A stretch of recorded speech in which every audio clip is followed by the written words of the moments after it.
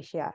And even if you are already a Lapida, kindly share with us if you are already in Lapid or you've just heard of Lapid or you're an aspiring Lapida, kindly, kindly let us know. And if you're new to Lapid and you do not know what Lapid is or what this program is, then you can let us know too. If you've joined in other webinars, let us know. Give us as many details about yourself as you can. So uh, other than encouraging the I, would like us to also encourage each our friends joining. If you know somebody who is interested, would be interested in entrepreneurship, then let them know. Uh, moving along, so I'd like one to welcome our our host for the day.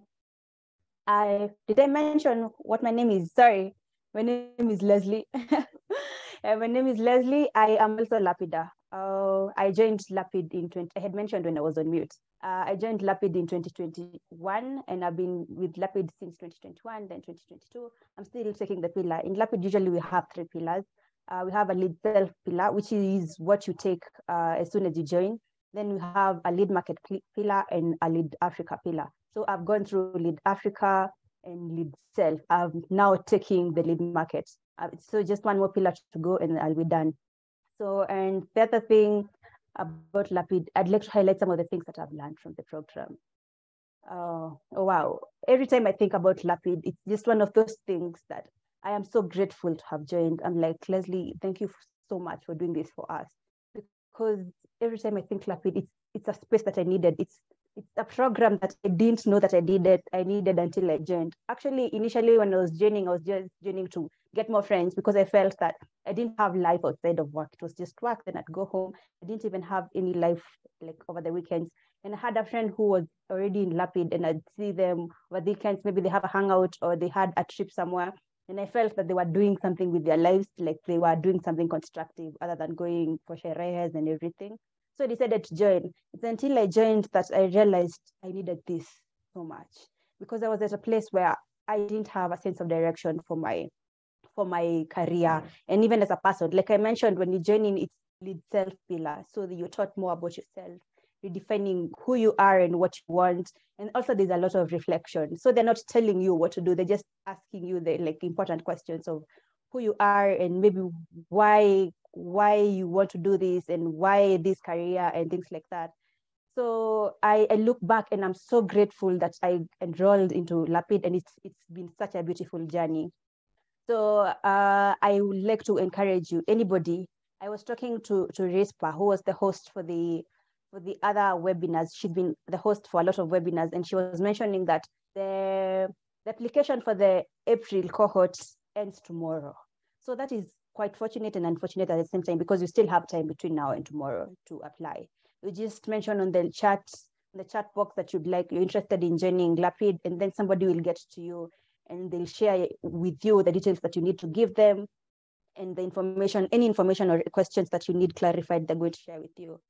So uh, moving along into the conversation, I'd like to introduce the the guest for the day. This is a lady that I greatly, greatly admire. She's one of the main faces that you'll see when you join Lapid. And I'm so glad to have met this lady because she's taught me so much. I have learned so much. She has a very long bio, eh, as you'll quickly realize, but she is so much more than her bio. And uh, her name is Esther Mwaniki. She's the founder and CEO of Lapid Leaders Africa. So and Esther Mwaniki is an accountant. I'm an accountant as well, but uh, I'm no match for her, and I'll tell you why shortly. Esther has worked with the international audit firm PwC for over, over eight years. Why we don't you all want to work with PwC as accountant? If you're an accountant, you know what I mean, or you're an auditor. And she's not just been in Kenya; she's worked with them in the UK. She's also an entrepreneur with more than 10 years experience in building businesses. Esther is also a corporate and SME consultant uh, who works with businesses and helps them to strategically grow their businesses. Her experience as an entrepreneur is now recognized as a nation, at a national level. She was recently a judge in the Women in Business show by National, National Bank, which is also known, or you might have heard it as You've Got Business. Uh, Esther is all that and so much more. I've not done any justice to her. But then I have gotten to know her over the two. I've mentioned that I've been with Lapid for 2020 since end of 2021, all of 2022, and now. uh, what I greatly admire about Esther is the the person she is. She's very passionate about people and about growing people and systems and organizations. But the person, she she's so much. But when you approach her, she's also so down to earth. You'll never know that she has all this power, and she's so much more person when you approach her because she treats everybody and every situation like with the uh, importance that it deserves. And also the times you'll find like if somebody is like a high person, they they'll not bother with like small small things, but that is not that is not Esther. And she she's she she does everything with so much excellence. And at times I wonder how does she do it all? How is she in a WhatsApp group responding to something that if another if it was a different CEO, they'd not even be bothered with, and she's still handling such big things. But then I know that she, she also has so much grace, you know, so much grace for for everybody but if I, I i wonder how she does all this but if i were to take or give a good guess is two things one i have known her to be such a woman of faith if you're in esther's class you start with prayer we close with we close we, we close with prayer prayer sorry. Oh wow. We, we close with prayer. And the other thing is something that she mentions over and over again and i don't think we quite get it. If you're in lapid you'd know. She says that you need to dignify every moment with your full self. And that i think that looks like tackling things that are boring with your full self tackling things that you are interesting for you with your full self and she also mentions that you need to get comfortable with the boring so obviously if she's tackling everything with her full self obviously the result is going to be excellent yeah but i don't want to talk too much about her i'll give her the chance to one introduce herself and who she is and what what Lapid is to her and what Lapid means to her. And yeah, so Esther, if you're with us, karibu sana.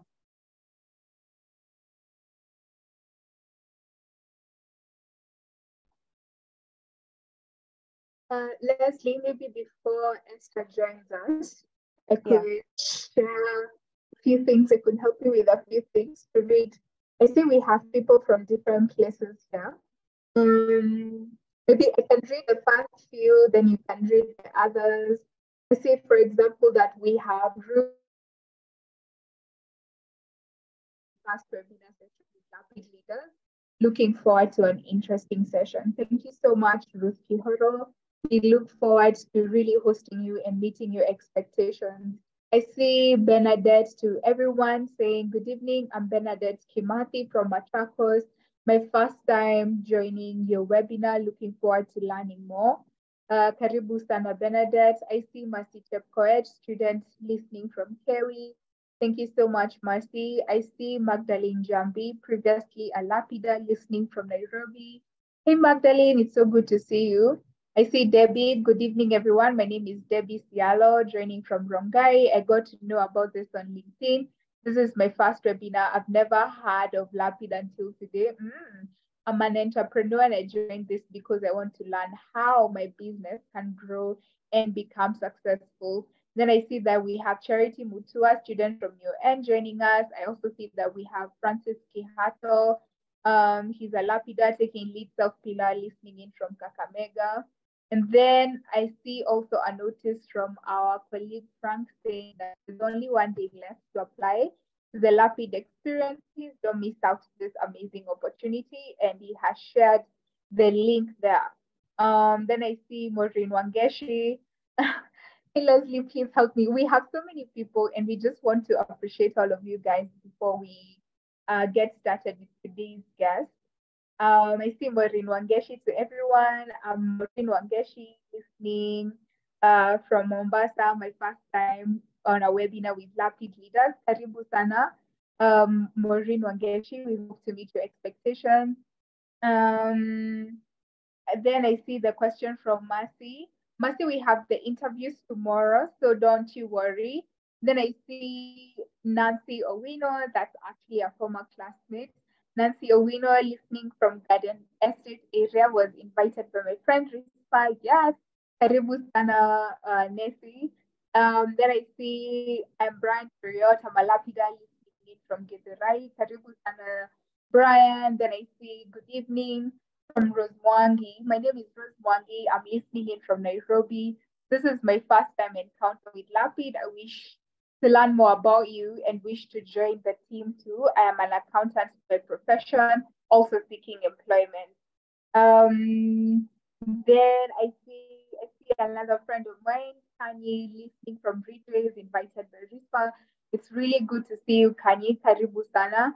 Then I see Oscar Cherono listening from Nyeri, my second time encounter.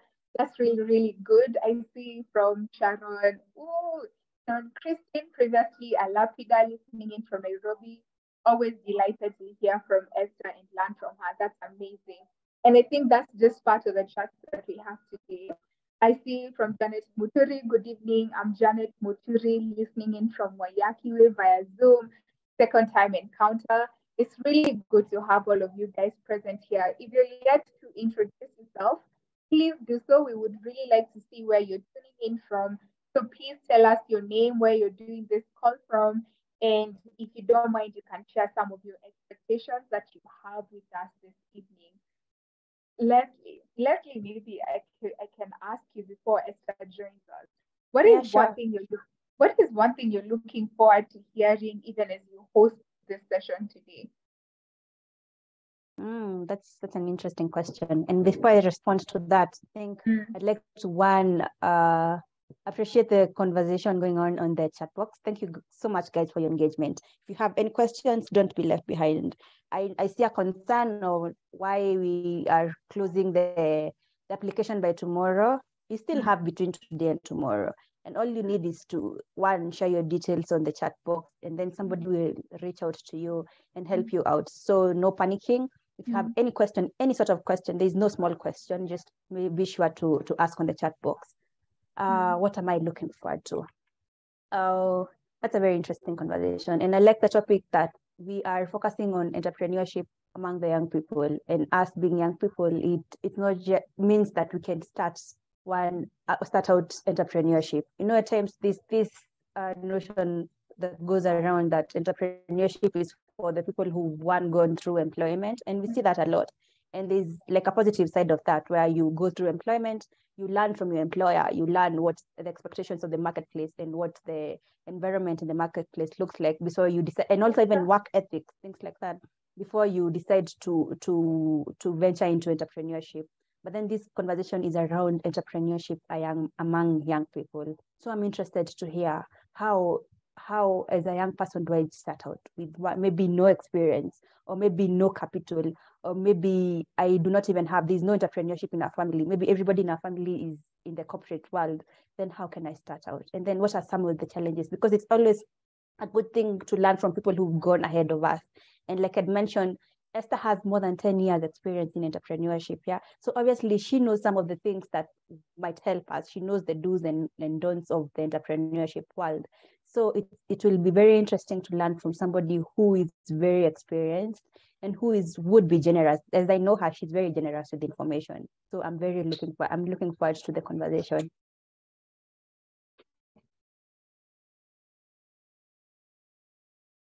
I I hear you, and I also look forward. Actually, one of the things I want to learn is, you know, with the way you read a lot of figures. For example, I was actually reading the standard newspaper, and there's this, I think, an article from last year that was saying there's about four, 40,000, yeah, 40,000 SMEs are dying every year. And you know, you'll find them, they're saying that 25% of startups in Kenya uh, fail within the first the first year, then 30% fail within the second year, and half of them fail by the time you're finishing like by the time five years are ending. So i'm very curious like why i should go into entrepreneurship when there have been such high chances um, when there are such high chances of failing. But also i'm curious to know maybe perhaps what uh, what our guest today has to share about that rate of failure. Is it influenced by the way by what people do or is it influenced by I don't know, like, is there, are there things that we do not know that if we knew, it would change the way we run our businesses, for example? So I'm very, very curious to hear what our guest uh, is going to share tonight. And maybe you can allow me, uh, Leslie, to, to read a few more chats from people that have joined us this evening. Um, yes, sure. I think Janet. Yeah, okay. So I see that Janet Muturi, I think Janet, I had already read you. Thank you so much for being here. She's from Waiyaki Way. I see Michelle Dewa. She's listening or he is listening from Nairobi. I'll just say they are listening from Nairobi. Then I see uh, Frida Moragua from Kewi listening from Nairobi. And you know, if you haven't introduced yourself as yet, we are very curious to hear where you're doing this call from, and perhaps one thing that you look forward to hearing by the end of this session. Um, maybe Leslie, I could do another um, question for you as our guest judge joins us. Uh, have you ever started a business?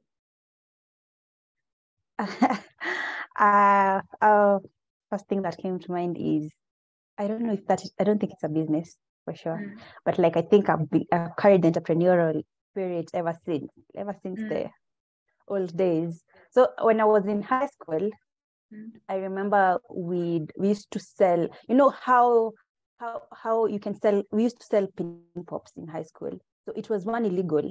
So I don't mm. think that was the best way or, of approaching uh, entrepreneurship. But then I identified myself as I identified as an, an entrepreneur. So mm. we'd one, we used to have such big margins, such big markups. Like we'd get a pin pop for 10 shillings and then you're selling it at 50 shillings. So I, I, I tend to think that I have always had the entrepreneurial spirit, but I have I started a, an inter, a, a business really? I, mm. I haven't. Maybe the one thing that I, I have tried to do is more a social enterprise or something to give back to the society. I don't know if maybe Esther can explain or yeah, maybe she can explain if that too is termed as a business. If we are not there for the profit, is that mm. then a business? If it's an a non-profit, is it a mm. business? I know the underlying principles would apply, but then what makes a business a business? Mm. Okay, and so then in that case, yeah, over to you, Leslie. I see that our guest judge for today is here. I'm very curious to hear uh, what Esther's take is on whether a nonprofit is a business as well. All right, over to you.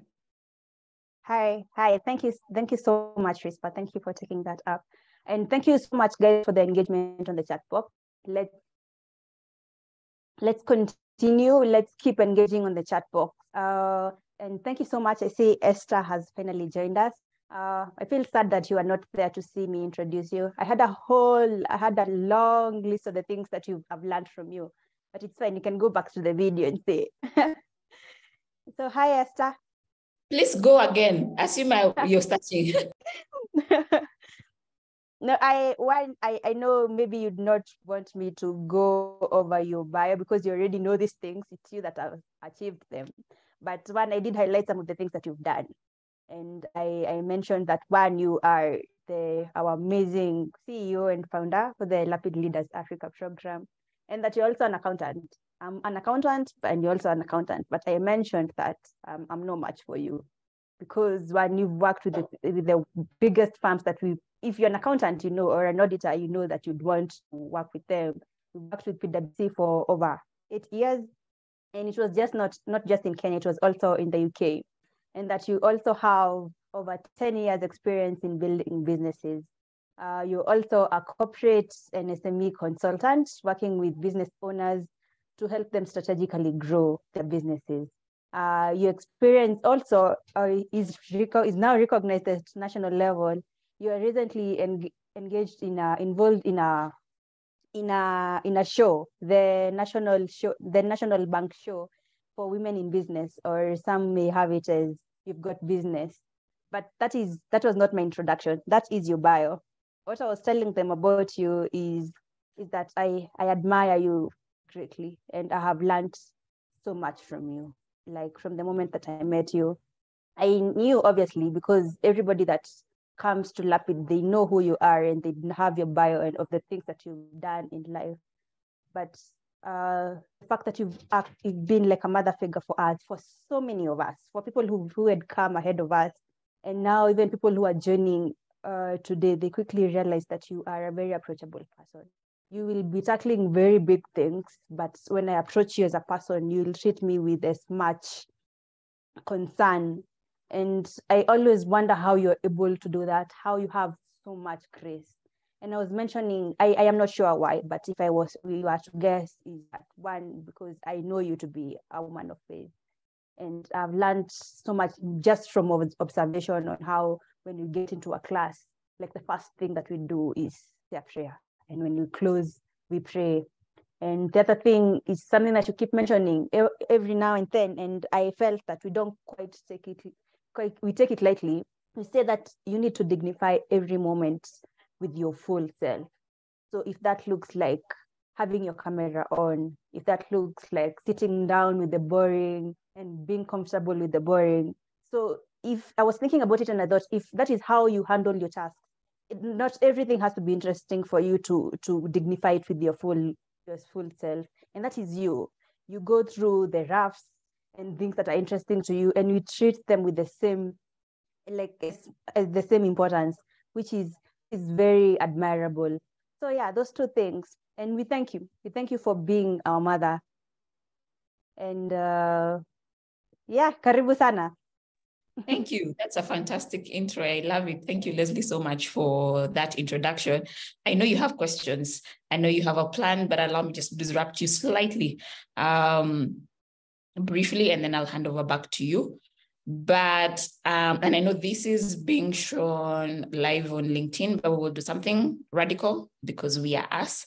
Um, business is spiritual and it's political. Um, and so we will start with all of us taking a few minutes to pray for the country. Um, today, the country has been, in my assessment, in a place that I think is dangerous. Um, I think there are issues behind it. I think we have a cost of living that we need to submit to God. And then we also have a political impasse that we need to submit to God. And so before we talk about business, we live in a country and in an environment that we must lift and honor. And so I will request us, um, whether you're in LinkedIn or whether you're um, on Zoom, to take a minute to whisper a prayer for the country and, and I'll also lead us in a word of prayer. And then we will allow Leslie to lead us the way he, she would have lead us, but it's important for us to start there. And so I'll request that all of us to take a minute wherever you are and whisper a prayer, send a prayer to God over this nation. Um, uh, yes. So a minute for all of us to pray, and then I will lead us a word of prayer.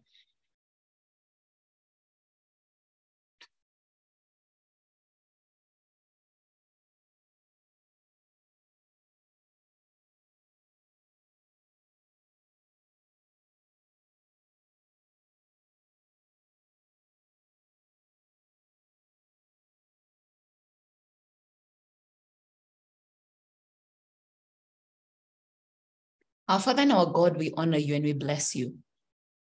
I thank you because your word says that we can approach the throne of grace with confidence and that we will find mercy and grace to help us in our time of need, Lord. I thank you because your word says that we can enter the gates with thanksgiving and that we can enter the courts with praise. And so, Lord, we want to thank you for the nation of Kenya.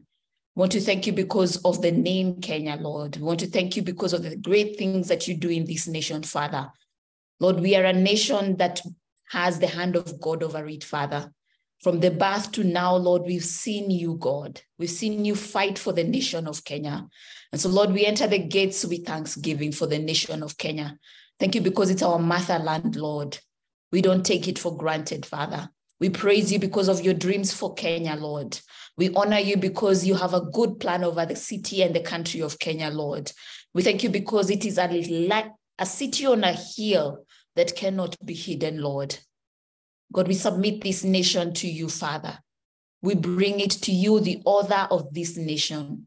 We bring it to you, you, God. Your word in Genesis says that you hovered earth and you found a formless, dark earth. And Father, you said, Let there be light, and there was light. Father, in the name of Jesus, we decree, let there be light in Kenya.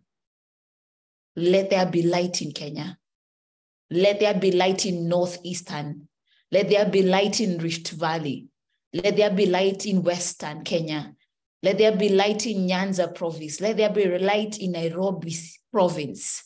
Let there be light in Kenya in the name of Jesus. We command every darkness that's hovering over this nation to flee. Because when the light enters, the darkness has to flee. And so, Lord, we stand on your word that we arise, Kenya, arise and shine, for your light has come, and the glory of the Lord has risen upon you. We bring under our feet every work of the enemy in the name of Jesus. We bring under our feet every confusing spirit that's hovering around this nation. We bring under our feet every dismissive and fighting spirit that's hovering under this country, Lord. And we decree and declare, let your kingdom come and let your will be done in this nation as in heaven, Lord. I want to call out a spirit of wisdom upon our leaders. I want to call out a spirit of humility upon our leaders in the name of Jesus. I silence every spirit of pride. I silence every spirit that's elevating itself above your name, Lord. And I ask that, Lord, you release a spirit of humility upon this nation. As that you release a spirit of wisdom, that Lord, our leaders would know how to govern with wisdom, Lord. Father, your word tells us over time, Solomon led with pride. And because of that, he increased the cost of living of his people, and the nation collapsed and it was split into two. In the name of Jesus, I command that spirit of pride to flee from this nation in Jesus' name. Father, there is a sense in which we're in a time of drought. But Lord, your word says through Isaiah, through the book of Genesis, that you blessed Isaac in a season of drought, Lord. And so, Lord, we decree that Jehovah of Jehovah Rehoboth, would you reign in Kenya? Jehovah Rehoboth, would you reign in Kenya? Jehovah Rehoboth, would you reign in Kenya? The Lord, in this season of drought, Father, we will see the goodness of the Lord in the land of the living. We decree that the cost of living will come down. And the Lord, the prayer that we have as our national anthem will speak for us. Oh God of all creation, bless this land. Bless this land, Lord. We silence the enemy. We silence pride.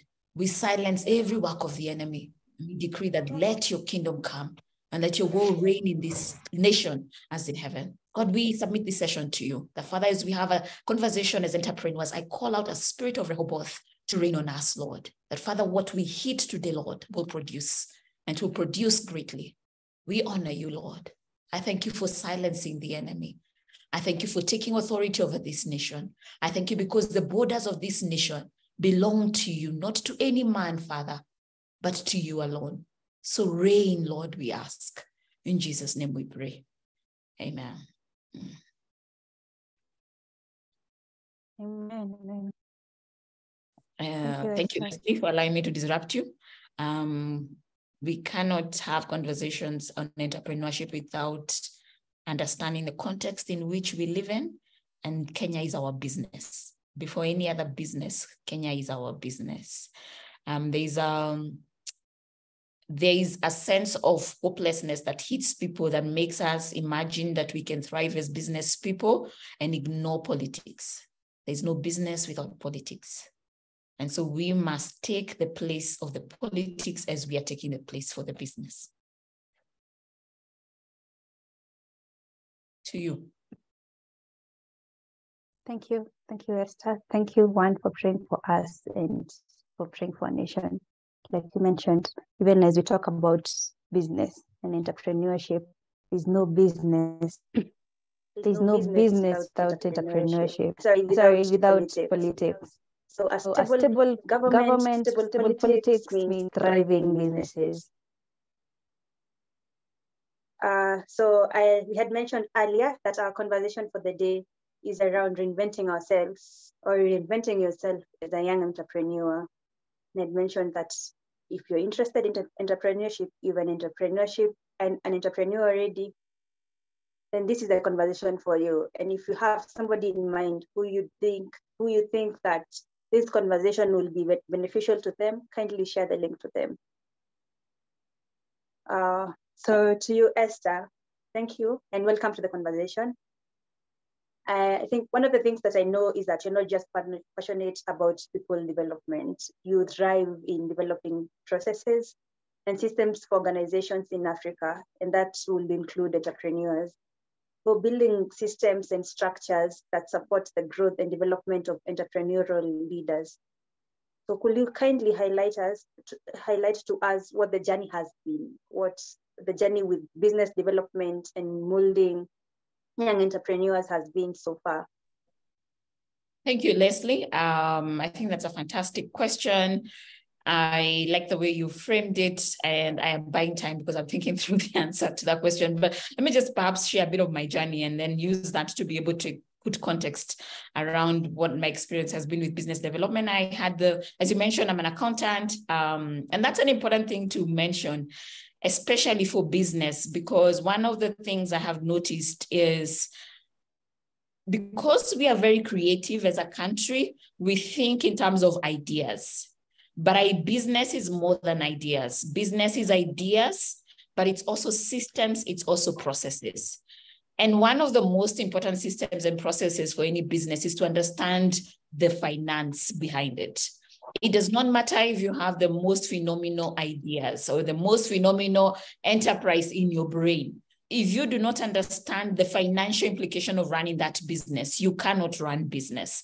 And so when I start my background, I think accounting is a big part of it. I process business from that perspective. I ask, what's a financial model? I ask, is that financial model sustainable or is this a good hobby? Because those two are different. Uh, a hobby doesn't need to think about money a business needs to think about money. And so the accounting background perhaps makes that more elevated. So start, studied as an accountant, um, got the privilege of starting my career with PricewaterhouseCoopers, which is, um, they're called one of the big four audit firms globally. Um, it's a phenomenal place to have started the career and I'm grateful to God for it. Um, and what that did is it gave me an opportunity to interact with very many clients. And so I was doing audit and consulting and when I think back, I have clients in this country, literally across the country. Um, I was in a space the other day and we we're having a conversation with somebody. And then I told them, actually, that CEO used to be one of the people that I used to audit, which is perhaps the privilege of starting an, a career in audit. I worked with clients from all sectors. I've done oil and energy, energy did quite a bit of audit of Shell, I've done pharmaceutical audits. I've done financial services, which is my favorite. I've done um, emerging businesses. I've done your manufacturing space. So I've engaged in business literally in all sectors. Um, my last year within PwC, I had 60 clients. And part of those 60 clients, some of them were in government, some were in private sector. Um, so I've literally engaged with businesses in all sectors, and I thank God for that. I primarily at some point knew that I'm called towards the financial services space. Um, and so I was involved in some of the large mergers within the country um, from an early stage. I was involved in the merger of CFC and Stanbic. In UK, I was involved in the merger of Legacy Lloyds and Legacy HBOS, what it's called today, which is Lloyds Banking Group. So I've been involved in the financial services space, and that perhaps is a place that I enjoy the most. So worked with PwC for eight years, um, two years while in UK, and that's how I ended up doing quite a bit of work with Lloyds Banking Group, um, and then came back did one more year in the end, stepped out, um, ended up in a banking space and banking also gave me another space around the enterprise and I was in risk management. And what risk management does is it's tasked with the job of asking when you give us a loan, does that loan make sense for the bank? Because the bank is in the business of protecting deposits. So when Leslie gives a bank deposits, the bank has a responsibility to make sure that they will give you back your deposits when you need them. But in the meantime, what they do is they convert that to loans. And so the risk management is about what are the processes that we have to make sure that Leslie's deposits are safe and that therefore we are giving loans to the right people. And so did that for about two years, um, which was a great experience. I again interacted with businesses from all kinds of sectors. Um, this was a smaller bank, which perhaps gave me more access to the SME. I think this country is primarily micro, but that was more in the SME space. Um, and then in 2014, left employment, formal employment, and started Lapid. The last eight years, I've seen very many businesses come from Lapid. I consider them micro businesses.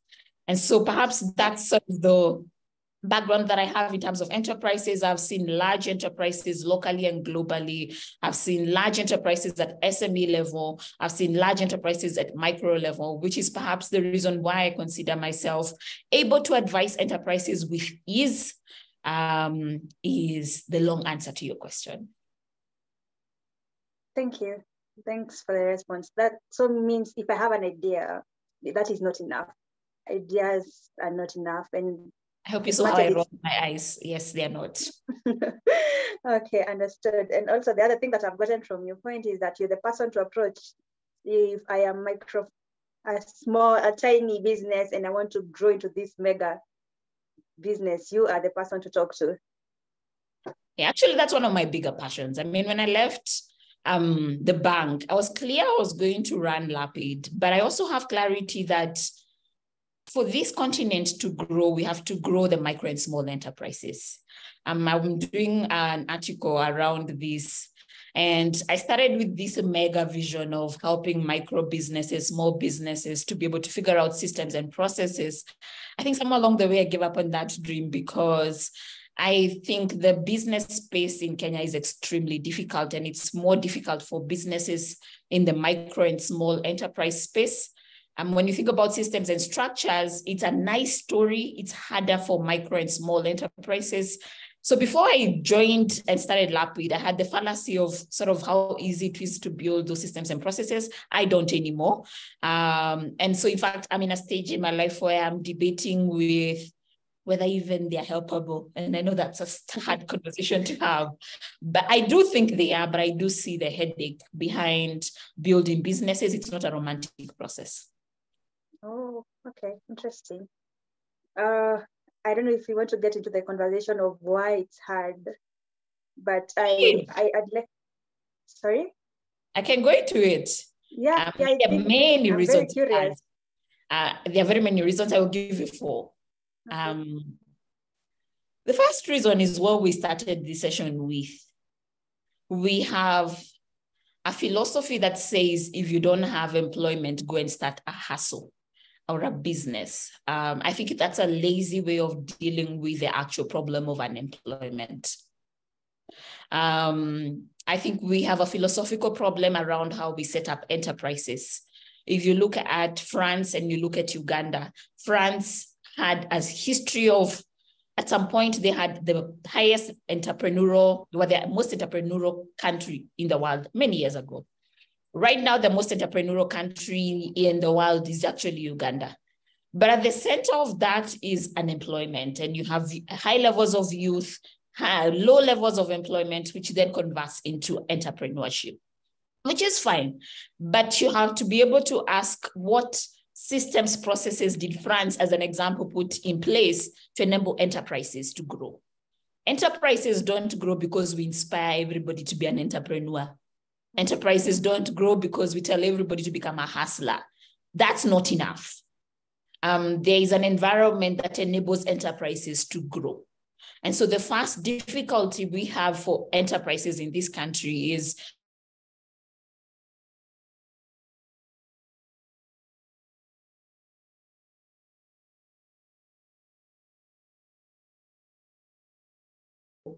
we will have a lot of hustlers, we will not have business that can be able to employ people, that can be able to sustain people. And so we have to have had conversations around what kind of environment enable enterprises to grow. What kind of costs? I mean, when you think about in the recent past, we had debates about China Square. And at the heart of that conversation is what has China done that has enabled the enterprises to be able to produce cheaply and import here and sell at a cheaper price than the guy in uh, Kariobangi or the guy in the other places around here that we were fighting for. And that's around government policies. And there are no shortcuts.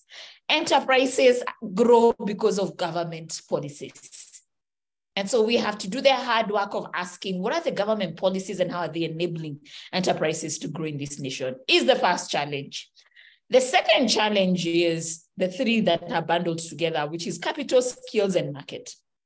So if you want to grow a business, you need access to not just capital, you need access to patient capital. And there's a difference between those two. Capital is capital. Patient capital is patient capital. But the reason patient capital matters is it allows businesses to survive for long as they figure out the business model.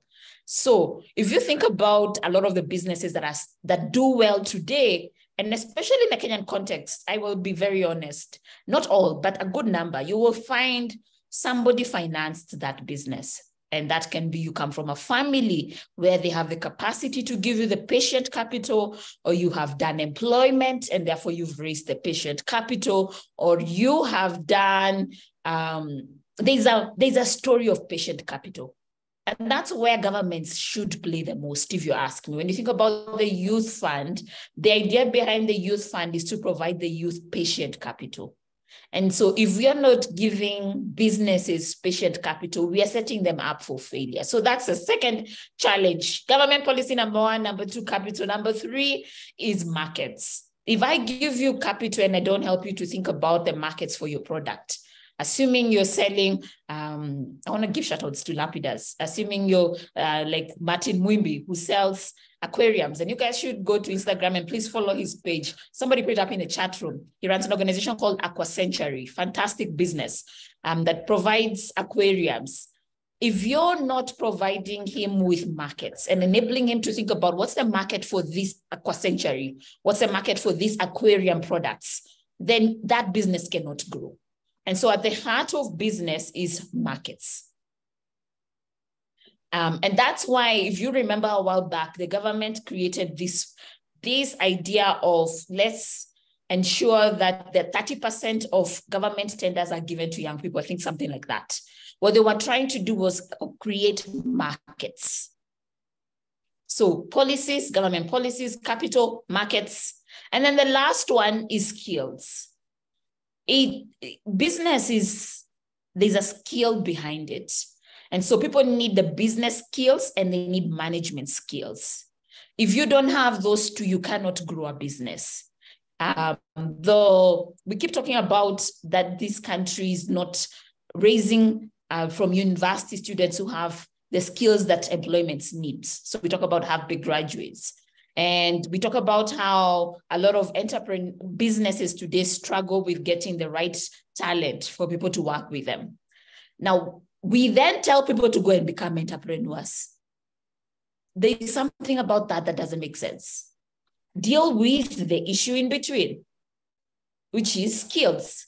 And so you have to do the work of the government policy, you have to do the work of markets, you have to do the work of capital, you have to do the work of skills for businesses to grow at large scale. Now, that is from a big picture perspective, and I'm coming back to you, Leslie, because clearly I've taken over your question. That's the same answer that applies to a small business. If you're thinking about business, your big challenges lie within those questions. How do I engage with politics? You do not have the luxury of deciding whether you will elect, you will go for campaign and go for elections or not. You don't. Your business depends on your government, your government perceptions. Number two, where am I getting my patient capital? You must have that conversation upfront. Don't just sit and imagine that I will grow the business because I have been inspired by Esther. It is a lie. You must figure out where the patient capital will come from. And then you must ask, what does it look like for me to build markets? And so, what partnerships? And the beauty of markets today is with a digital space, you're able to think about markets more easily than you did before. And then, lastly, what does it look like for me to build the skills to grow my business? Nimekujibu? Yes, uh, that's very interesting because I'm thinking as a young person, um, I'm fresh from campus, yeah, and, and, maybe I do not have the skills. Like you're saying, you even need managerial skills.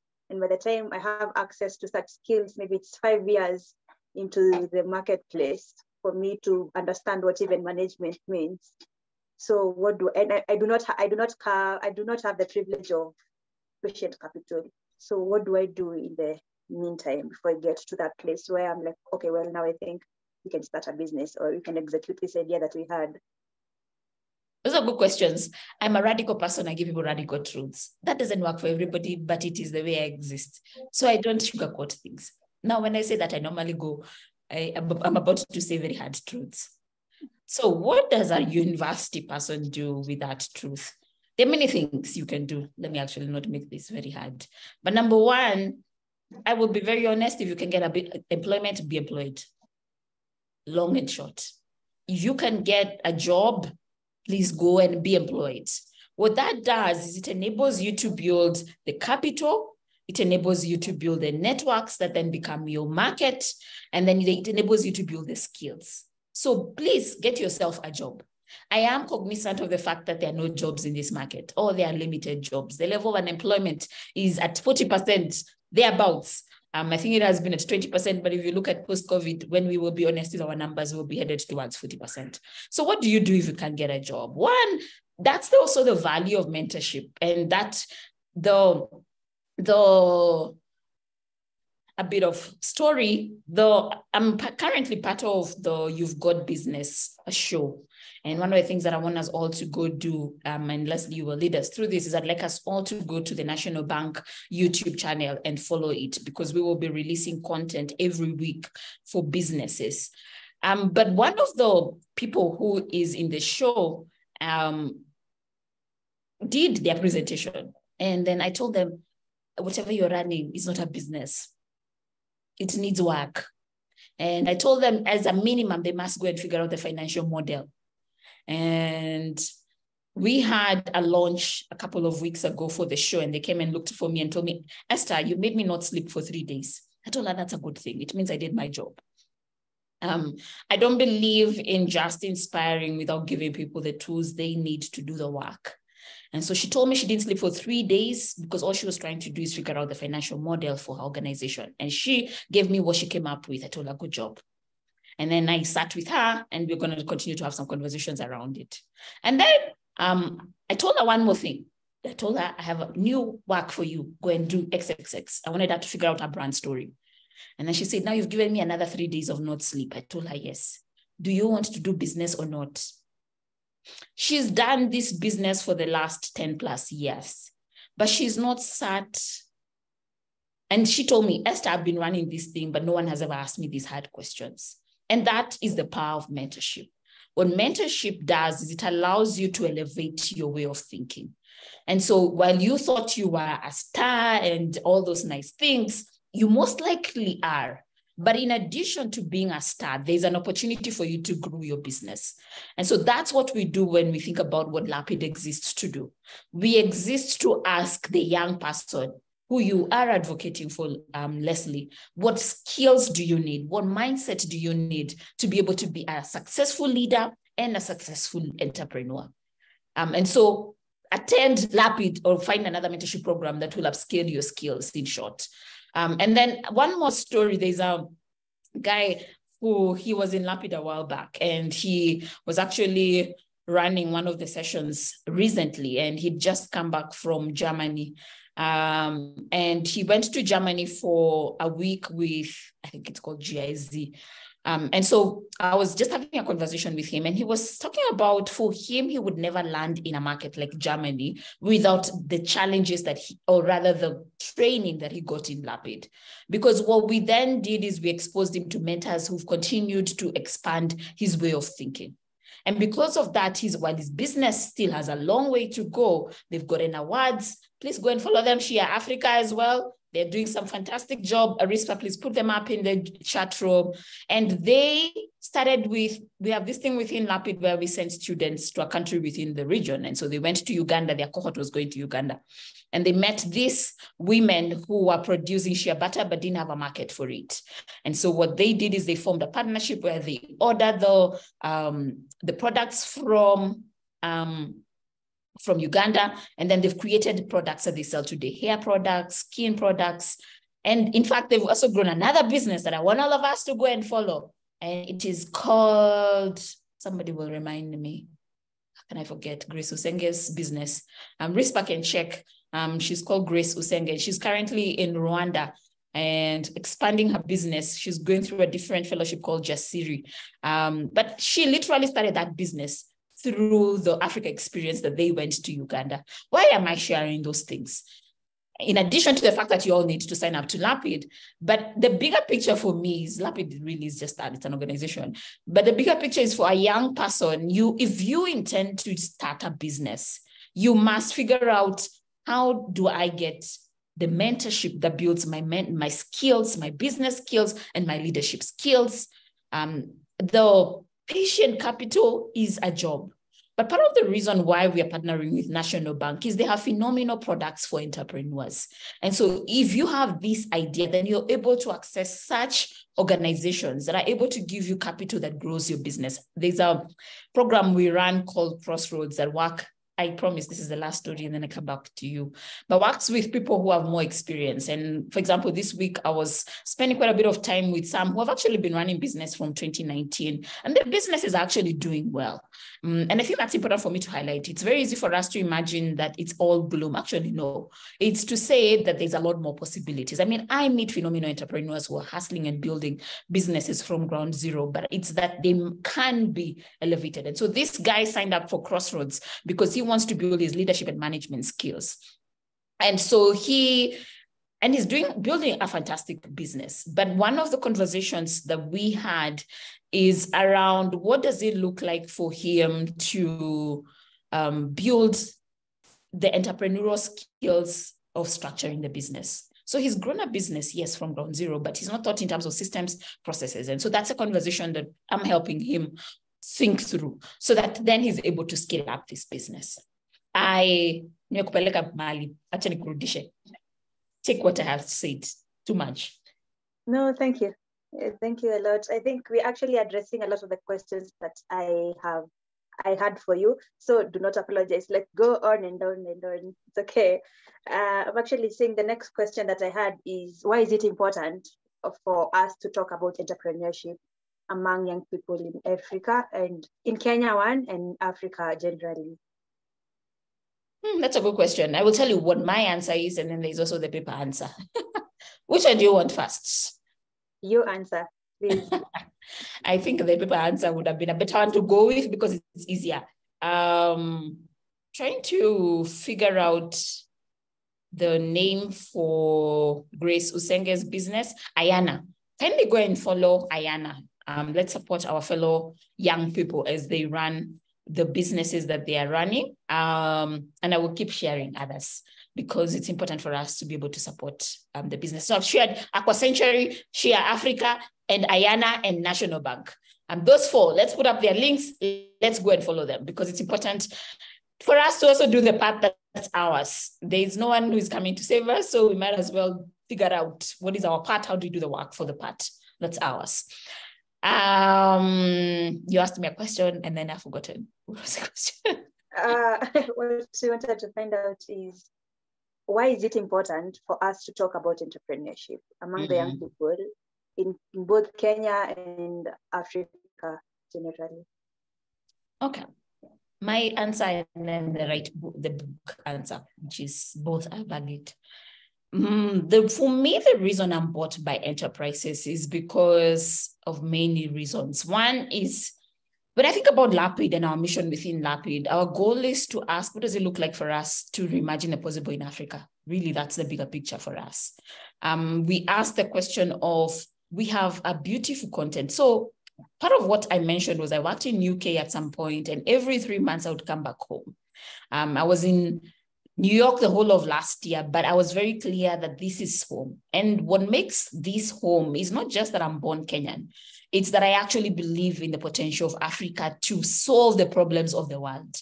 Now, many of us think about Africa as a recipient, begging, asking for help. I don't. I think of Africa as a solution to the world, that when Africa rises, what we will be able to do is put more humanistic solutions within the continent, within the world. So the current civilization was built around industrial age, that was built around capitalism. I personally don't believe that that by itself works. what works is a humanistic kind of capitalism, if there's such a thing. And I think Africans at their heart are exactly that. And so when I think about Africa rising, I don't think about Africa rising as, oh, we were saved and we rose. No, I think about Africa rising because we can and must and being able to rescue the world from the self destruction that it has. Now, the reason I say that is the path to that is entrepreneurship. At the heart of entrepreneurship, in my mind, is an opportunity to solve the problems that this continent faces. It's to be able to say, let me give you two practical examples. Um, and I think one of them, I'm not sure they're still working, but let me just give you the way they, I know of them. So one of our alumni, um, we have a partnership with an organization in Ghana um, called MEST, Meltwater Entrepreneurial School of Technology. And they pick up the people within Lapid who are entrepreneurial and have high capacity and they have a competitive process, but the partnership allows them to be able to go through the process with more ease. And so they picked up, they picked up first cohort and then there was a second cohort. And one of the people who they picked up was um, they they put together a solution that uses blockchain to enable to Mama Mboga to have access to cheap products. So um, technology can sound complicated. Me, I like to simplify it. If you think about Mama Mboga, they buy nyanya at five bob, another one at five bob, because they're buying two nyanyas. But if you aggregate those mama mbogas, you end up with 100 mama mbogas. And so you have economies of scale. And so therefore, then they buy those products cheaply. And so that's what that company does. They've built a platform in South Africa for women in Soweto that enables them to aggregate their markets, buy products cheaply. And then that became financial services, etc., etc. Or another one, um, a lady who she was working in a hospital, again a lapida, and they started to see a lot of boda boda guys would walk in, but they didn't have medical insurance. Build a platform that brings together medical insurance. People, I don't know how they use blockchain to do it, but they use blockchain. And as a result, they had a community of thousands of boda boda guys who now they could negotiate with for um, medical insurance medical insurance. And so then they have access to hospitals. Now, I like those two examples examples they, because they represent the possibilities if young people understand entrepreneurship as a, as a solution. And so we ask, what's the problem? What's the solution? How do we use entrepreneurship to build that solution? And that might sound like it's just big things. When I think about what um, Martin is doing with Aqua Century, at the center of it is still he is able to solve some problems. I mean, I can't go into too much detail about this, but when I look at the way he runs his business, he's impacting people's lives. And so for me, when I think about entrepreneurship, and the reason entrepreneurship must do well is because it's an opportunity for us to sort out the problems that this continent has. The book answer, that is mine. The book answer is what is the book answer? Horrible with book answers, but the book answer is you have high levels of unemployment, um, and the answer to that is entrepreneurship. Um, the book answer is a lot of economies have been grown because of enterprises. And when you think about the history of all the countries I've talked about in the West, at the heart of it is small businesses and enterprises that have built those economies. Thank you. Thanks, thanks a lot. I, I, I want to listen to you go on and on and on and on, but you have a few more questions. Yes, and also I'm sure our time is almost up. Yeah, we've only tackled very few questions, but it's okay. Yes. Uh, I'd like us to talk about Lapid. So a lot of the people who are joining in, whether it's LinkedIn or they got the link, they might not know the story of Lapid. Uh, so I wanted to find out as an entrepreneur and civic innovator, which is a term I learned from Lapid and now use a lot. Uh, what motivated you to start Lapid Leaders Africa? Oh, good question. Um, though I actually have already addressed that. Though I was in UK, kept thinking this country is beautiful, but it's not as beautiful as mine. Um, and I want to be a part of building Africa into what it can be. And so came back, I came back from UK in 2012, um, 2011 actually, um, and then worked with PwC still a bit more for then joined the bank. But at the heart of it, I was committed to raise leaders for the continent. I believed that at the gap, one of the bigger gaps um, that we have as a continent is around leaders um, who serve the people. Um, I like to highlight that part because one of the gaps we have today, and part of the reason people are on the streets, is leadership has been modeled as about self interest. And so I am, I struggle with a lot of the conversations we have because they're about my ego, my interest. Um, and my prayer is that God raises a generation of leaders who can be able to think about life in seventh generations. There's a principle called seventh generation. And it's Kenyan, it's I mean it's African, and it's a lot of indigenous communities. But it talks about that Leslie is a factor of three kind, two kinds of three people. So you're a factor of three people who are ahead of you. So your mom, your parents, your grandparents, and your great grandparents. There are choices that those three people made that have enabled you to do what you do today. And so Leslie is not self made. Leslie is a factor of three generations ahead of her. Now, that's important for Leslie because it means she then has a responsibility to three generations after her. Hmm. And that's the seventh generation kind of thinking. Now, the opposite of that is selfish, self centered thinking that's about ourselves. And if you ask me at the heart of the problems that we face today, Monday, is selfish leadership. And so the reason I started Lapid was to ask what does it look like for God to use us to raise men and women who are submitted to be about the seventh generations? Um, and that looks like then the process that we take people through in Lapid. We start with lead self. And lead self is about understanding yourself. Because as long as a person doesn't understand themselves, they cannot live beyond themselves. Um, as long as a person does not understand themselves, they cannot live beyond themselves. As long as a person does not understand themselves, they cannot live beyond themselves. And that is the heart of the problem that we have today. If you think about slavery, if you think about colonialism, there's something that one of the forefathers of Africans used to say that the greatest tragedy of colonialism and slavery is not the fact that we were colonized, it's that they took away our sense of history. And so our history starts with colonization and slavery. That's not our history. Our history is that we are the people who set up the first universities in Timbuktu. Now, if you rob people that history, you rob them their identity. And if you rob people their identity, they will just be going around copying other people's broken systems. And so the there's an article I'd like for you guys to go and follow because today we're on a row of helping each other. The, there's an a phenomenal article that Rispa wrote about um, Ubuntu and the poverty and the trauma of poverty. And I think it was a phenomenal article that I would actually love for all of us to go and read it and it will be shared in the chat room. But the reason I say that is because that's why we do lead self, to help the person understand themselves. But then, as part of understanding yourself, you build the values and the mindset that you need to be a change maker. And so, we are very big on values, we are very big on mindset. So, we do the work of expanding people's critical thinking, building their self confidence, building their communication skills, because those are the things that then you move with to lead marketplace. Lead marketplace is about job readiness. And the question that we ask is what does it look like for you to succeed in a marketplace? The bigger picture for me is not you getting a job, important, but the bigger picture is for you to build the capacity to lead marketplace. And so we have a lady, one of um, our previous president in the council, she was elected, she was she got a job as a general manager, and she probably in the other day somebody else was made a country manager in an organization in Uganda. We recently did a study that showed Lapidas within a year promoted because of those skills.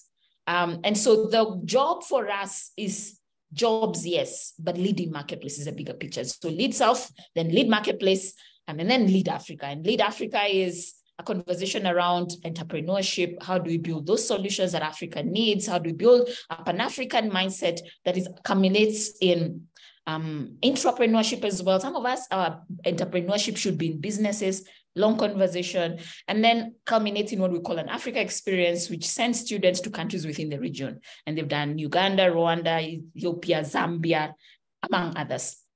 I say that to say that Lapid at its heart is to empower young people. I, I personally believe that the greatest asset that the, that the continent has is its youth.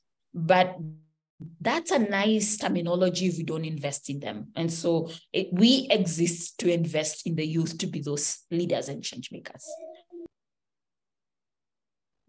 Thank you. And we've all benefited by going through Lapid. So like she said, if you are a young person and you have the need to be empowered, then Lapid is a place to be. Uh, um, I'd also like to, uh, one, shout out to the people who've joined in through the LinkedIn. If you've brought anyone in, kudos to you and thank you. And let's keep the chat active. We might not be able to address all the questions that you have, but if you have any comments, any questions, especially regarding joining Lapid and the application process, kindly put it on the chat box. So allow me to move to the next question. I'd like us to go back to businesses and business development. So the question is from your experience with Lapid, what are the top three just a moment. What are the what are the top three things every young person should consider before starting a business?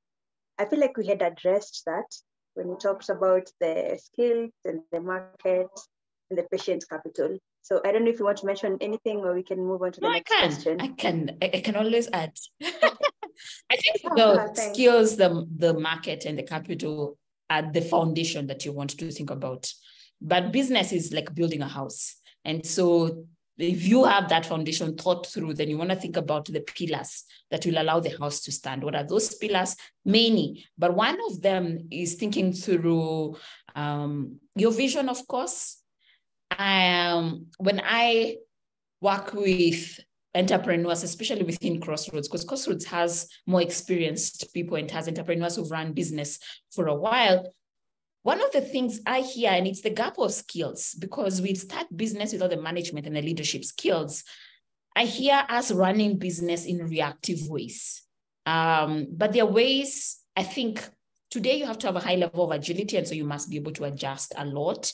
But you you also need to do the work of building visions. And so the first thing you need to think about is what is the vision for this business? Tell people about it, they question it, that's an important part of business development. And so, one clear vision. Two is brand story. This is often understated. Um, if you listen to the, and if we have time, Rispa can play that video um, or at least the clip, a bit of the clip. Actually, let's plan to play a bit of the video um, from the National Bank in a short while because I really wanted us to have a five minutes where we all just go to um, the YouTube and follow that that page because we intend to keep doing quite a bit of content there. But the one of the things I talked about in the first episode is don't do business because you must do business. Do business because you know why you're doing the business. And this sometimes takes time, but that's what a brand story is. A brand story answers the question of why am I in this business? And so let's think about that a bit more. If you think about Dove, Dove, Dove, um, Dove is a product and they make mafuta, they make hair, but I'd love for somebody to check their vision. Um, I was actually talking about it this past weekend, but their vision has nothing to do with um, mafuta. It has everything to do with their brand story. And so, though the bigger picture of what you want to think through when you're starting is not just the vision. Vision is very important, but you start with a vision and then after that you ask, what's the brand story? What will keep me going when this business wants to close me? And often that is quite needs quite a bit of self-awareness. And it's a reason why when within Lapid, we start um, a lot of our sessions with self-awareness. Because if you do the work of self-awareness, then you'll be able to name the the, your brand story with more ease. And so that's the second thing vision, brand story. And then the third thing is put together a financial model. The whole idea of you can do business without thinking through um, where the revenue will come from, what the cost of the businesses are, how do you grow each of those things is, is not business. And so at the heart of sort of thinking through um, business, I would advocate for those three things. Start with a vision, um, figure out your brand story. I was looking for the brand story for, um, and I'm sure Rispa can access it, but the brand story for, I really like it. I don't know why. Anyway, when you're asking me the next question, I'll I'll look for it. Vision, brand story, and the financial model. And then there's a lot more after that. I mean, you yeah. need to think about the operational model. You need to think about your HR. How am I staffing this business? You need to think about what is your growth strategy. It's a whole process. Okay. So you don't just get into business. You don't wake up and then you're like, oops, I have an idea. Let's try it out. But it's interesting to hear that your brand story doesn't necessarily have to be aligned with the brand. That you can have a brand like Dove, that, that you have soaps and things like that, but then the brand story is totally different. Absolutely. We actually need to read their brand. Anyway, they recently ran a campaign, which is the one I wanted to read. Let me see if I will see it. I have too many things that I would need to run through. Please recap what you're hearing, and then I will look for it and I'll tell you when I get it. Okay, I think I'd like to hear from our audience. Uh, let me just mm. see if I can see. Rispa, do you have any engagement on the chat box? Yes, yes, yes, we do. okay, please go ahead. Um, yes, uh, as Esther checks that, there's actually a question for you, Esther, in the chat from Sylvester. I'm trying to get this question. He was asking, can on the term patient capital? Um, and the context of this question is, like, my second question is, can one practice entrepreneurship as part-time? And finally, uh, if so, what industry can one do part-time without much supervision when starting from a lower level? I think maybe we can look at uh, patient capital first. And then maybe the second question of are there industries where you can start as entrepreneurship as an entrepreneur and it's easier? And are there others that are harder? That is from Sylvester.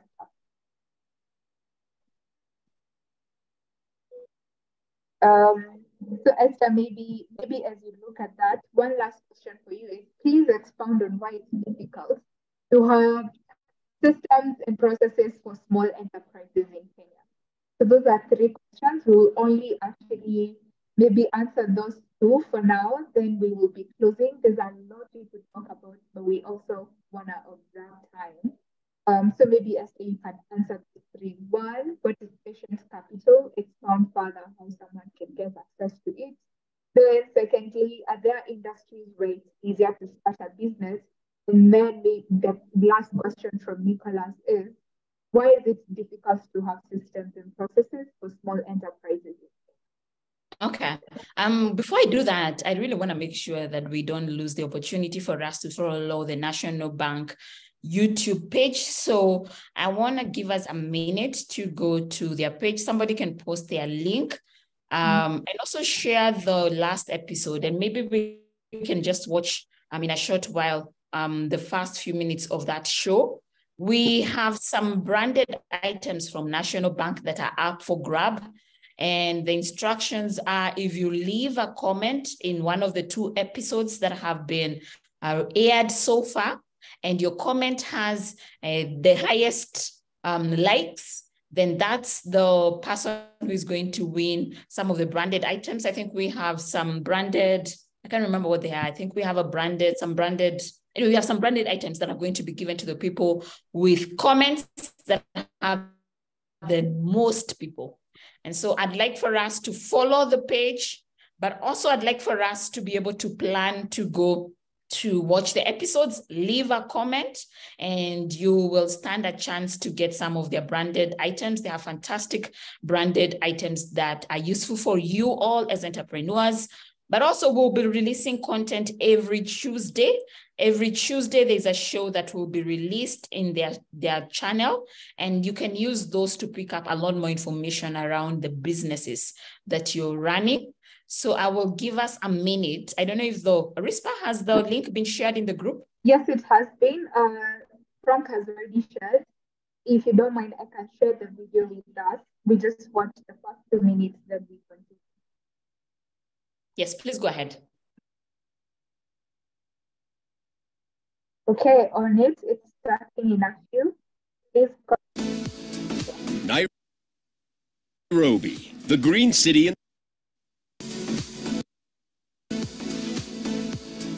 Nairobi, the green city in the sun. It's 30 ladies selected from all over Kenya who responded to the call to action. They gather to be briefed on the challenge in a bid to see who survives round one. Four celebrated ladies will judge them by putting these fledgling entrepreneurs through the paces. In the dreaded commerce pitching sessions to the judges, only the very best will survive. This is a show that's all about empowering women. This is a show that is pushing women in commerce forward. This is You've Got Business, powered by NBK. My name is Priska Mandere. I come from Kisii County. I'm a businesswoman dealing with Juakali products, for example, metal boxes, uh, wheelbarrows, uh, spades, shovels, and small home items like jikos. When you go to boarding school uh, or high school, for us who used to go with the metal boxes, who couldn't afford the luxurious uh, suitcases from the supermarket, uh, we used to be bought for these metal boxes. They used to be a signature color, blue. and then they're written your name. So that when you go in uh, Form 1 or in boarding school, uh, no one touches it. You lock it with a padlock. So with the metal boxes, uh, it happened now because everyone was buying it. In it was a requirement in school. Uh, even the underprivileged or privileged uh, kids could have them. Now it became fashionable. I'm Lynn Odiwa. I come from Migori County. I'm an agripreneur. Women play a very significant role in agriculture. And in Kenya, women from low resource settings uh, engage in indigenous farming of vegetables. My name is Viola Mokoro. I live in Nairobi. I live with my family. I have two daughters and I'm married. I run a daycare center. I'm also the owner of Kumontena Study Center. I'm excited being here because I've uh, been able to meet network.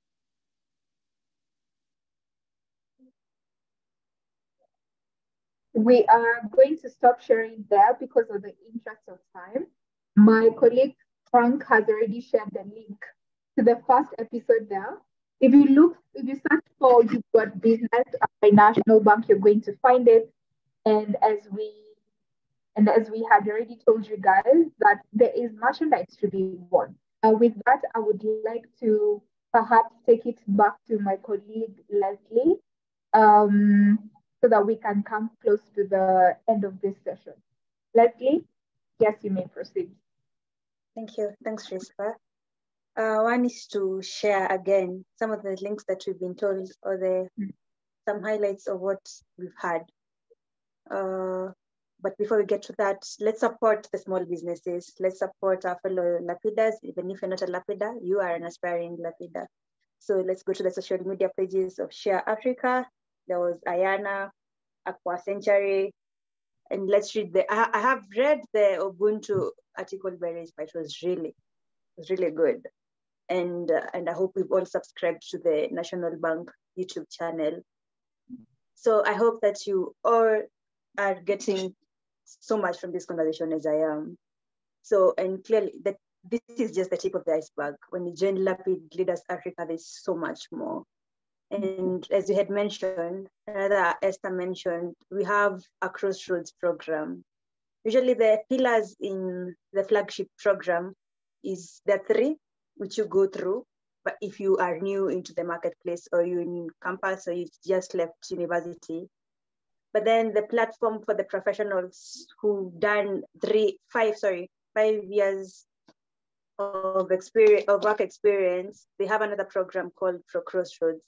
It's for professionals who want to make take up maybe take up more responsibilities at the workplace, or they are looking to get into management, or even if you're desiring to get into a different career path. So maybe you've been on a certain path for five years, but you feel it's time to change.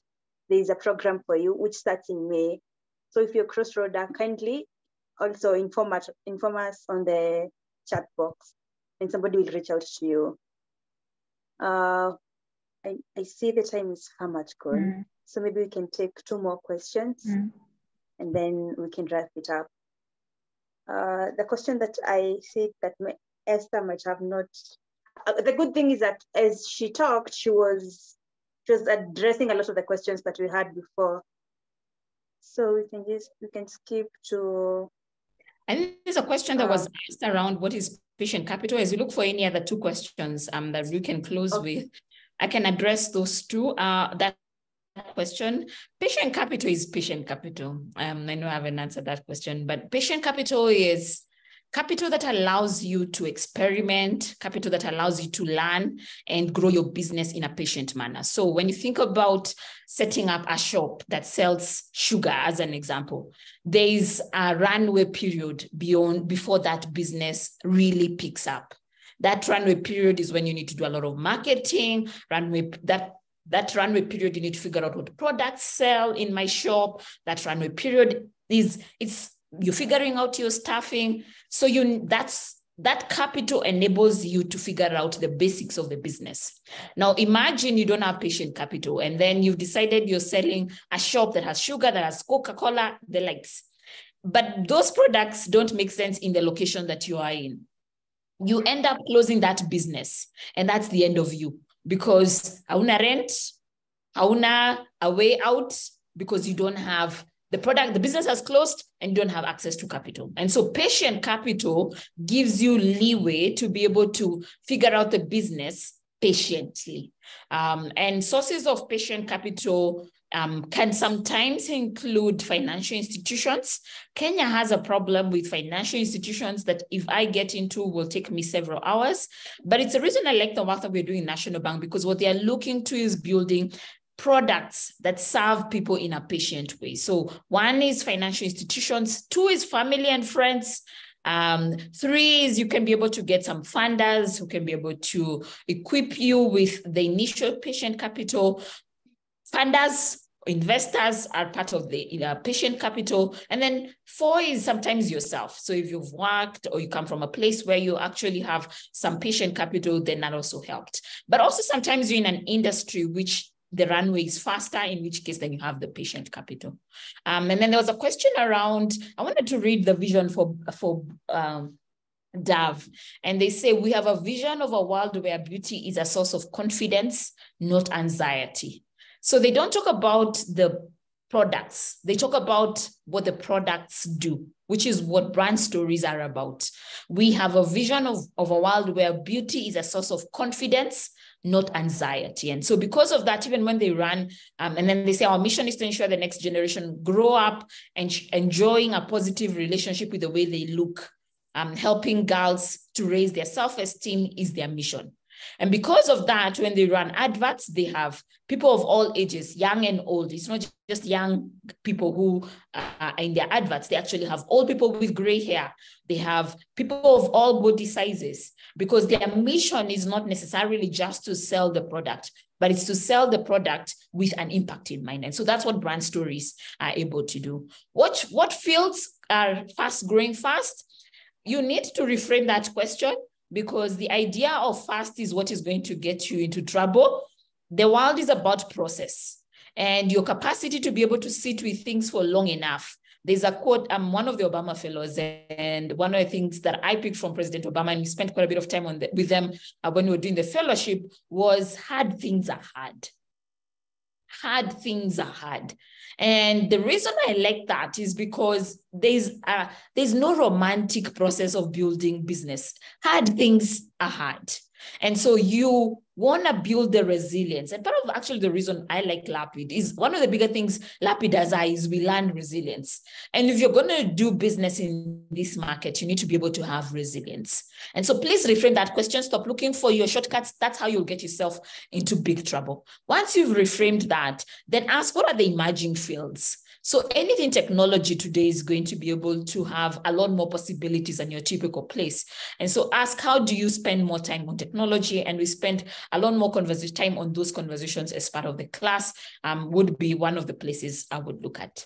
that was the second question. I don't know if there's any other question. Maybe one last question, and then after that we close because I think we have two minutes before the our time is up. Okay.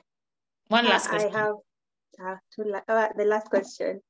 I think Mm. it being the International Women's Day, sorry, month, still in March, I'd like to ask why do we still need to push for conversations around women empowerment and women in business? Haven't we empowered the woman enough?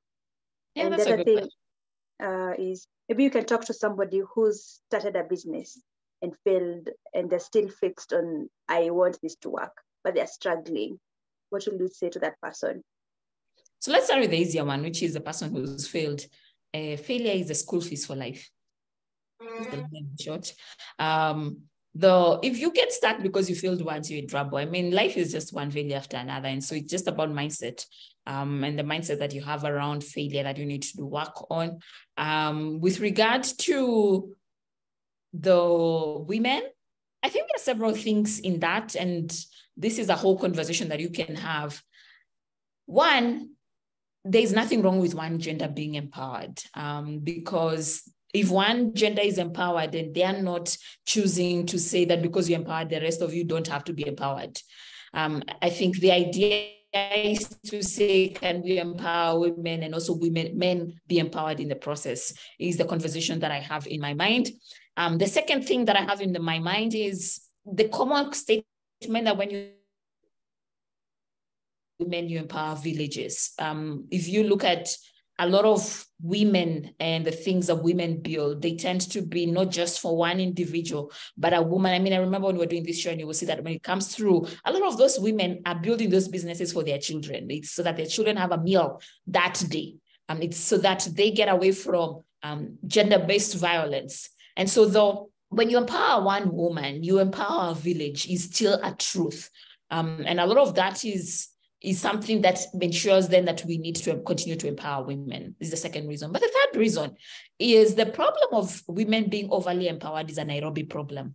And so when you get out of Nairobi, you realize actually women in Kenya still have a long way to go in terms of their empowerment, a long way.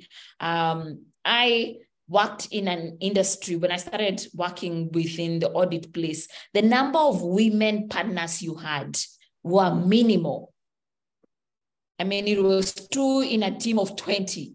At manager level, you had three women in a God knows how many team of men. And that was many years ago. I know that those numbers have improved over time. But if you look at banking, if you look at our political space, if you look at many um, sectors, if you get rid of the fallacy that social media and the fallacy that's Nairobi, you will find that actually women are still struggling significantly to find a seat at the table. It's now when we are starting to talk about that Rwanda has a majority of women in parliament. Kenya still has a long way to go. If you get your governors one or two, you think, oh my God, that's a big achievement. And so the whole idea of women overly empowered is, to be very honest, an elitist problem. In truth, if you go to the ground, women have a long way to go. And so it should be the business of the men and the women to empower the people who are least empowered. And in this case, if they are the women, we all do the work to make sure that they get more empowered. Um, and that doesn't mean that the contrary is true. We can live with ants. I think the problem is we build a world where people think in ors. It's either men or women. No, it, it's that if women are huko chini, we pull them up very much but also we continue to work with the men. And so it's the contradictions that we need to be able to sit with.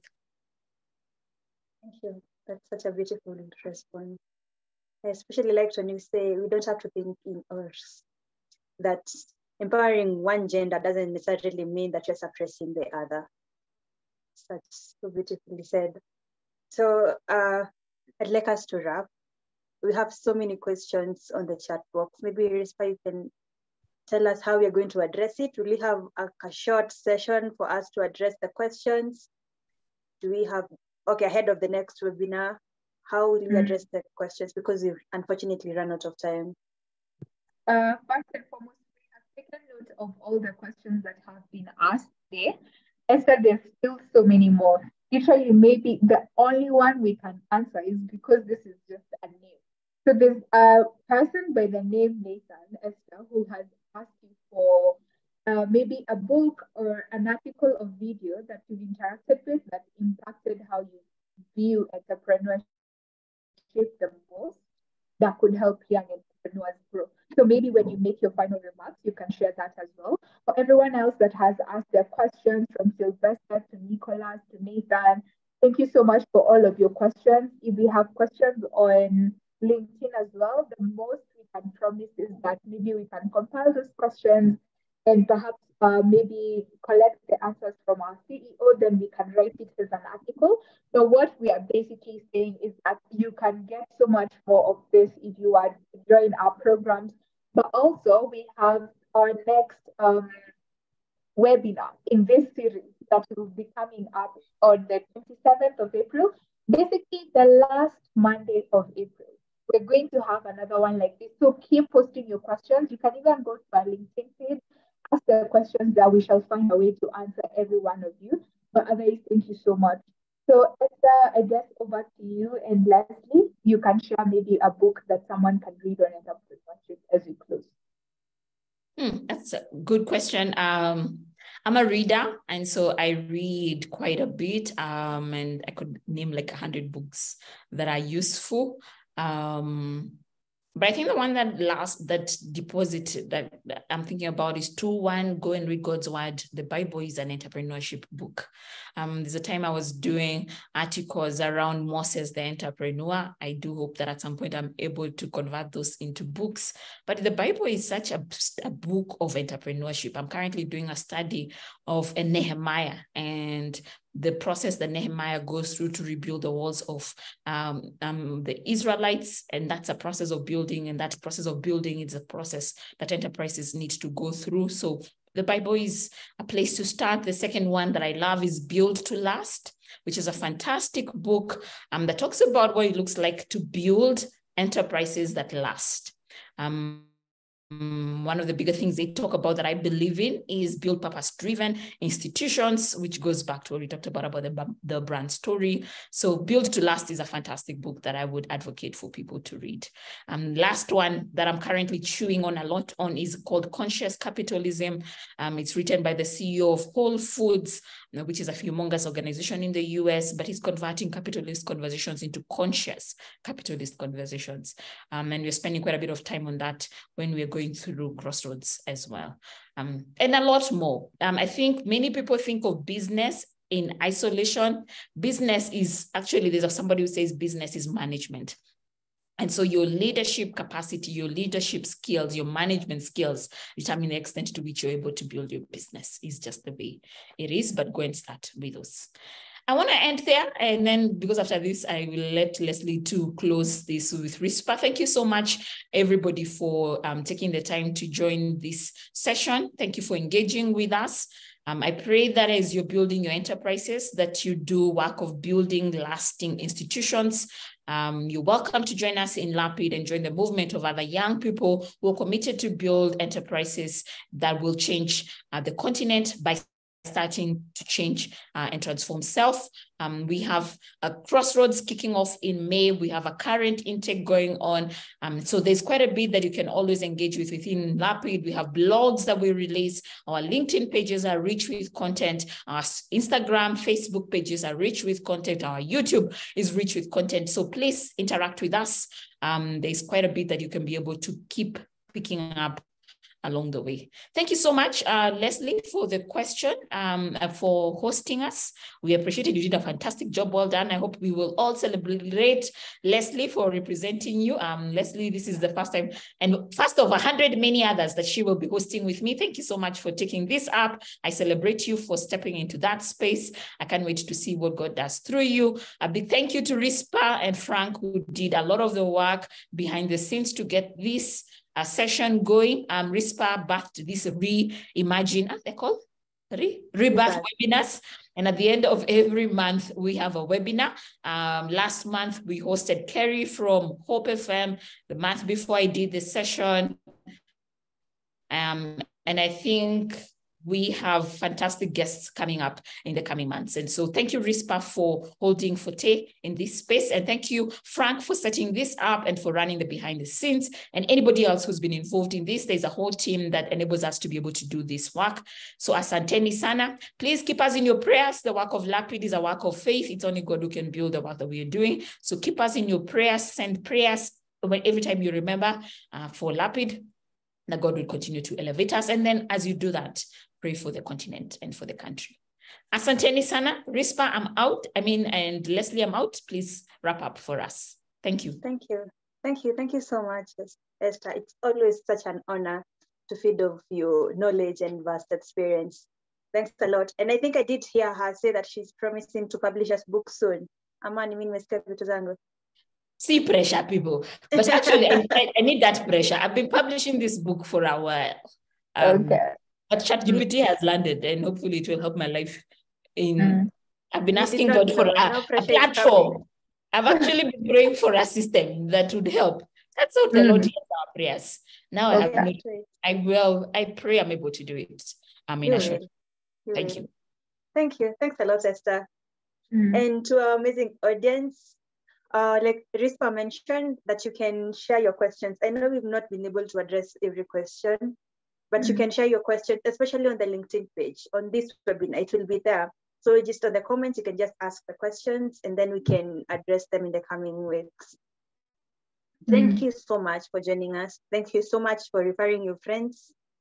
Uh, as a parting shot, I think the one thing that I've gotten from Esther's conversation is, is that ideas are not just, sorry, businesses are not just ideas. There's so much that goes into the addition of a business, the systems, the structures. And also she mentioned that it's very important for you to look for a mentor. So to get into mentorship in case you're interested in getting into entrepreneurship. Uh, I'd like to thank you. My final mm. words is that let, let's meet in the next webinar.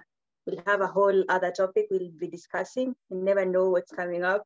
So mm -hmm. see you next month. And if you have mm-hmm. any questions on the application process, kindly, you can also ask the same question on the LinkedIn page. The next webinar, as Rispa mentioned, will be next month, the 27th of April. I think it's the last Monday of April. I've been your host, Leslie Mwangi, and good night from my end. Rispa, do you have anything? Oh, uh, no, no, no, not really. Just thank every single person that has joined us tonight it's been such a joy hosting you, Nancy and Leslie Owino, and I see, um, you know, and I also see that Rana was with us. For everyone that has been here, thank you so much. If you're still curious about the books, we will also post them on our social media. So just check out our social media in the coming two to three days. We're going to post the books that Esther has said you should also read. But in the meantime, I'd just like to welcome everyone to please unmute your mic if you're still here say your good night. It's been an honor to host you, and we look forward to seeing you in the next webinar in April. Thank you, Kanye, as well. Thank you, Sylvester. And so, with that, I wish all of us good night. Thank you, my teacher, Coach. Um, uh, Michelle Devo, um, also thank you as well. I see your question and I'll address you personally now that I have your number. Mercy, Ja, Jamkuta Mwana leo. Okay, so so Swahili, but altogether, thank you. I'm going to request my colleague, who's the host for this session, to end the meeting for all of us. Thank you so much, guys, and may God bless you give you all a wonderful, wonderful week. Night. Good night. Good night, everyone. Good night, every single person.